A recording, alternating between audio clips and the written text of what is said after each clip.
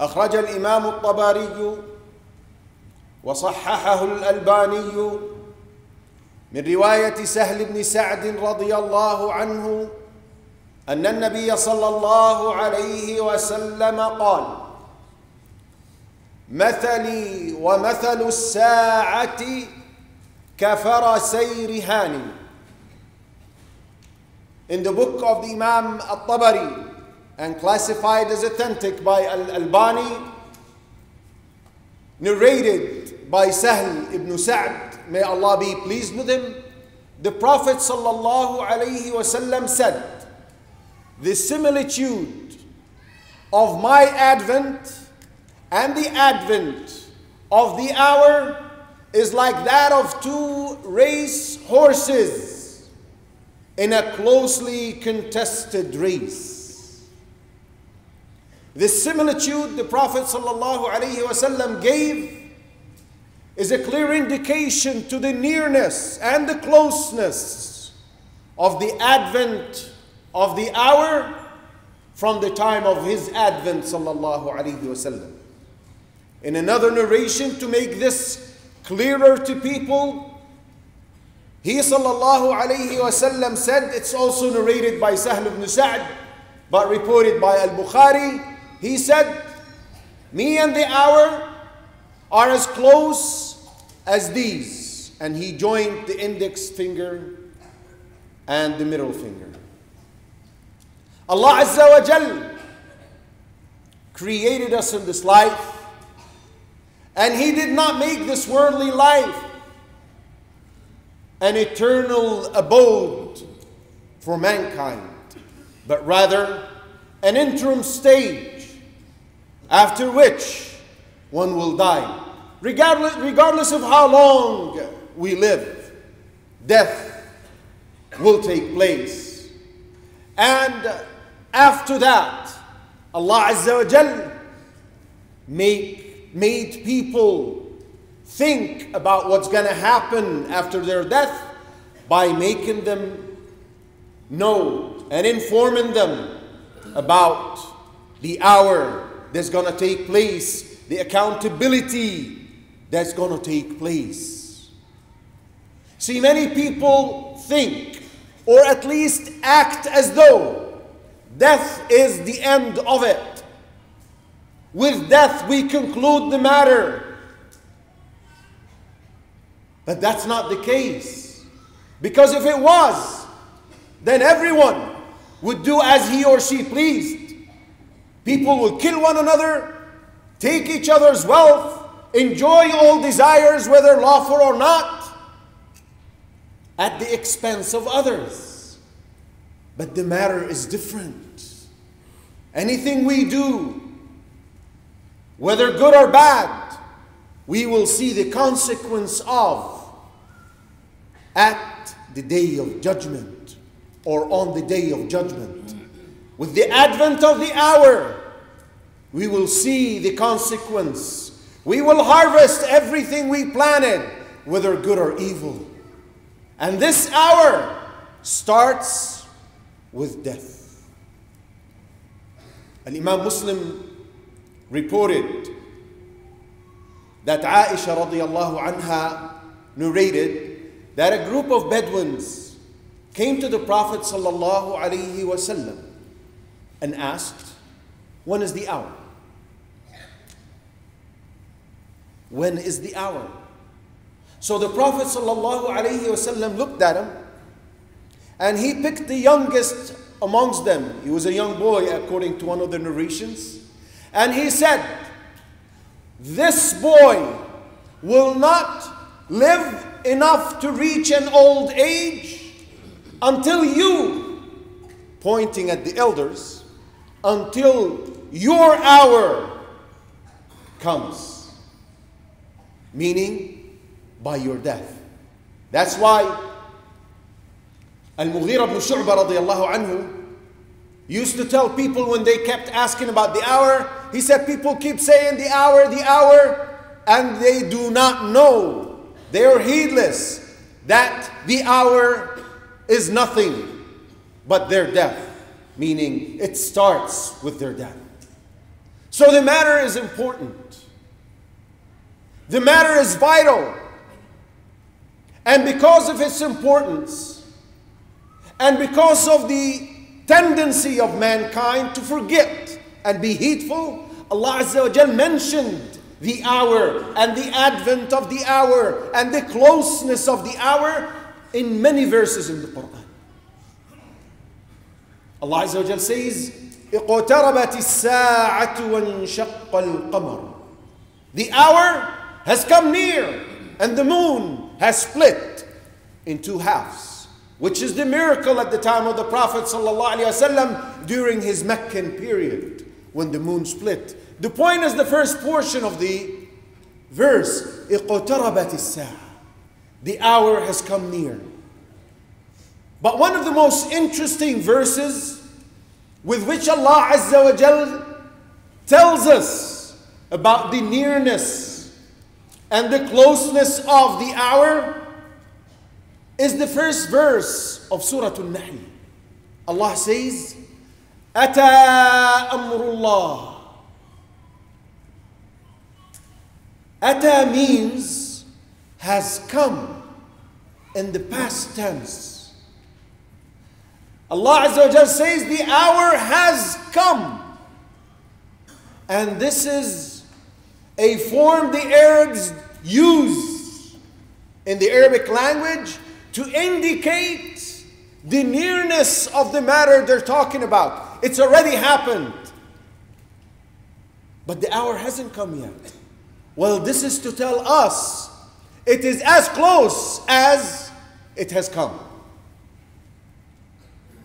Allah Azza wa Jal further says, واتقوا يوما ترجعون فيه إلى الله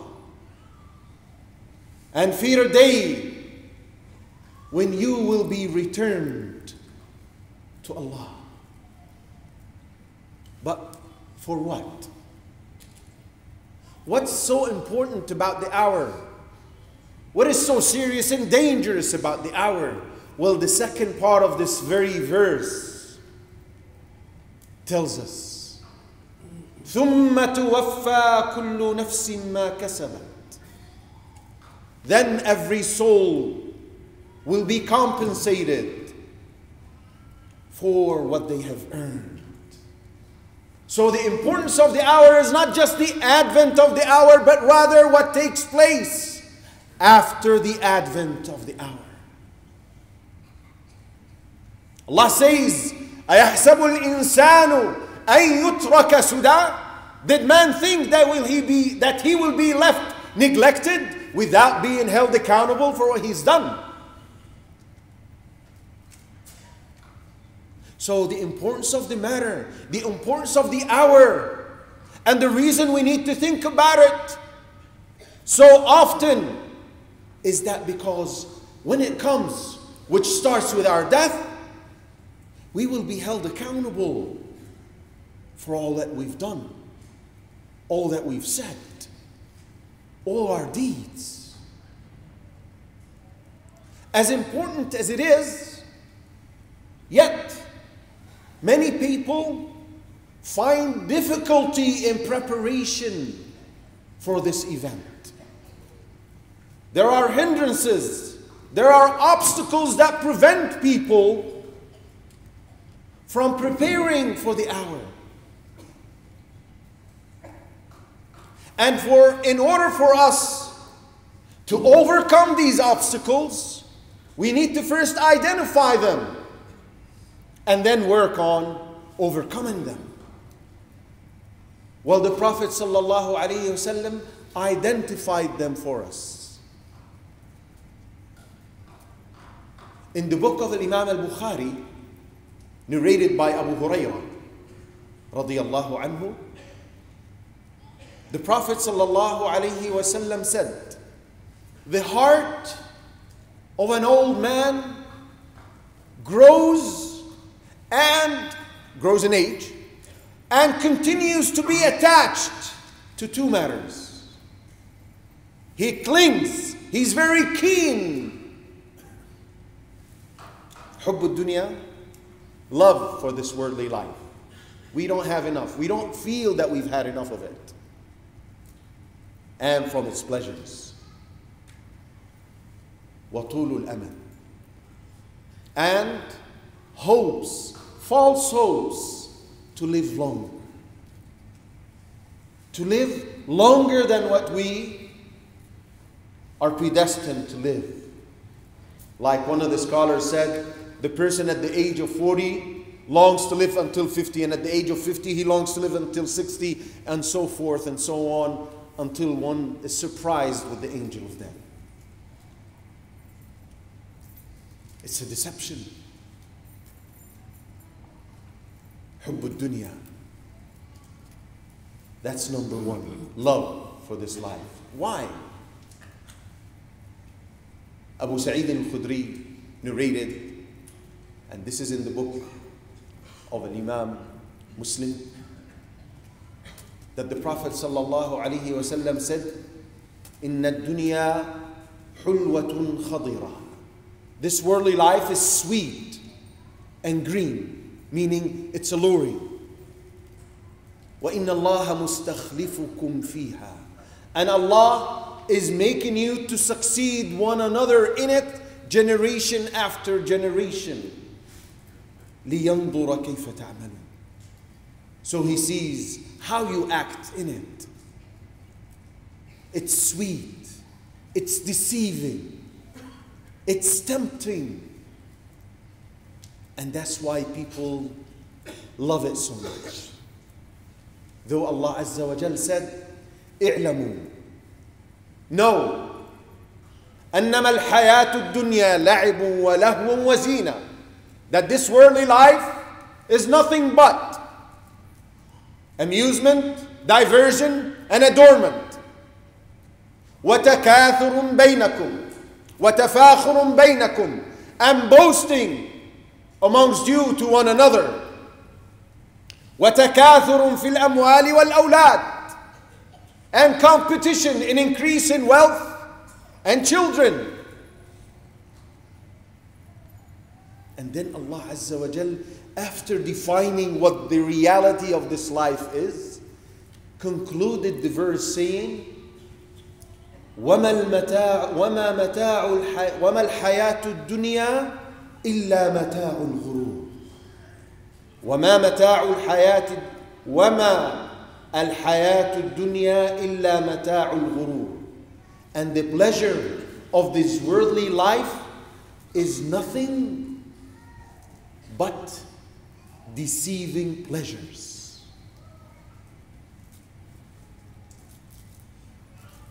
طول الامل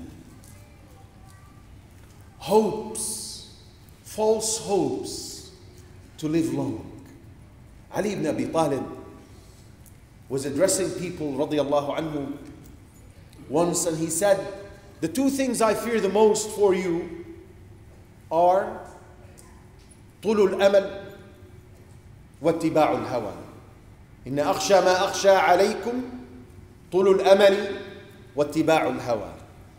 The two things I fear the most for you is having false hopes to live long and following your desires. And then he explained. He said, أما طول الأمل فينسي الآخرة. He said, as for having false hopes to live long, well, it makes you forget. It makes you heedless of the hereafter.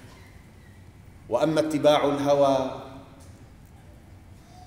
فينسي الحق and as for following desires it makes one forget or reject the truth the prophet sallallahu alaihi wasallam took ibn umar by his shoulder one day and this is reported by imam al-bukhari and he said to him, as he himself narrated, Be in this life like a stranger or a traveler passing by. And count yourself. وعد نفسك من أصحاب القبور.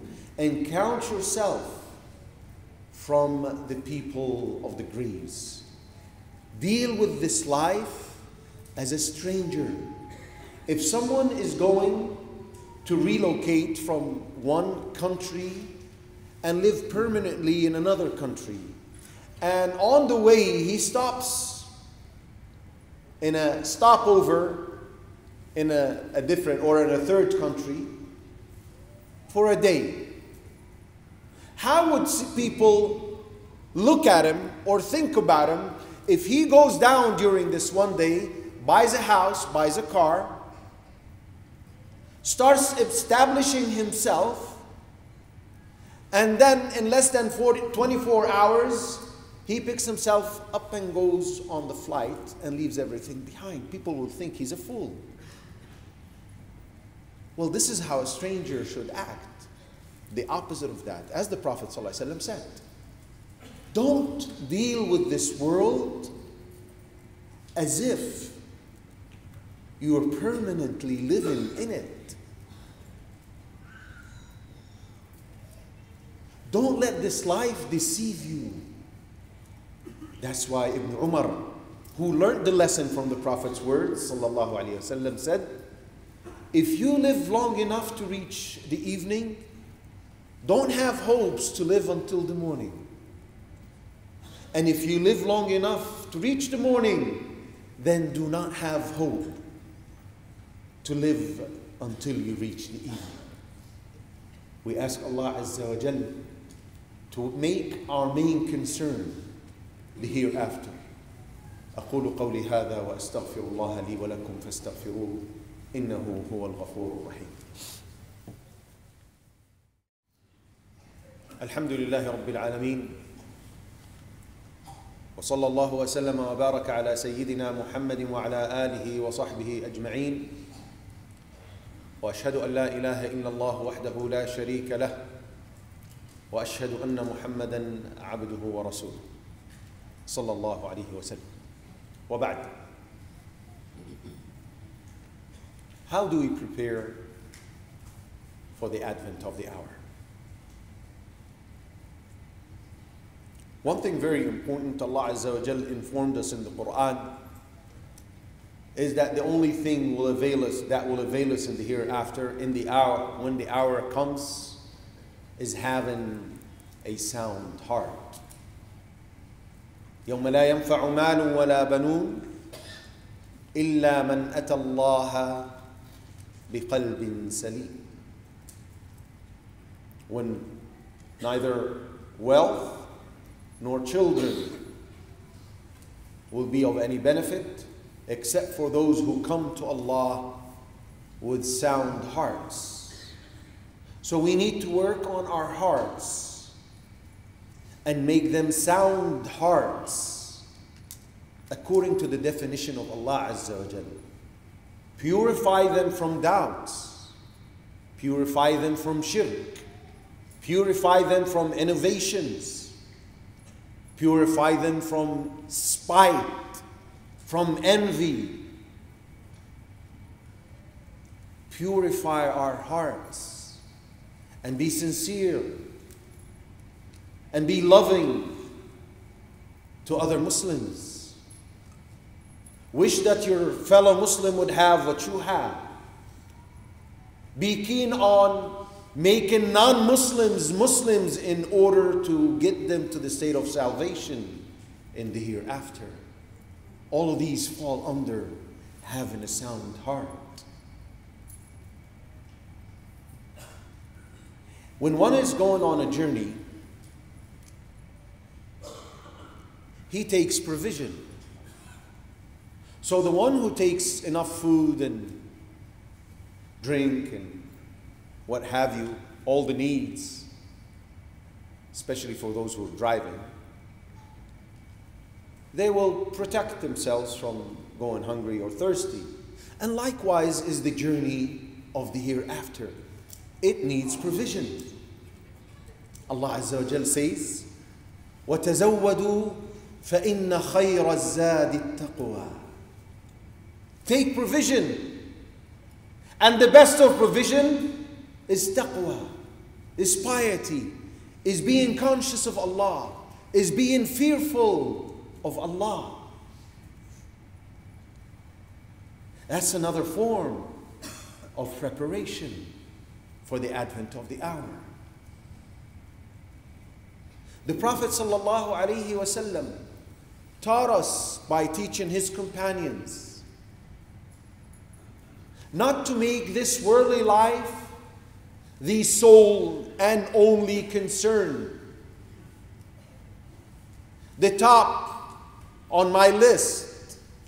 How did he teach us that? Ibn Umar narrated, and this is reported by at-Tirmidhi, classified as authentic by Al-Albani, that never the, did the Prophet ﷺ leave a gathering with his companions, except that he supplicated. And he gave a long supplication, but part, a part of this supplication, وَلَا تَجْعَلِ الدُّنْيَا أَكْبَرَ هَمِّي Don't make this worldly life my main concern. The scholars, when they explained this part of the narration, said, You find people who are well aware of worldly matters but when it comes to matters that will rescue them in the hereafter, at the advent of the hour, you will see them taking the matter lightly, indifferently, and they are very, very unaware of what will happen and how to take precaution. And that's serious. That's dangerous. One is instructed by Allah Azza wa Jal to learn enough of this worldly life to advance and develop on an individual level, community level, country, and a nation. However, this should not be our main or only concern. We should be focused towards the hereafter, or else we will not be fulfilling the objective for which Allah the Almighty had created us. We ask Allah Azza wa Jal to enable us to prepare for that moment, that moment of truth, that serious moment, that moment of the hour. اللهم اغفر لنا ذنوبنا وإسرافنا في أمرنا وثبت أقدامنا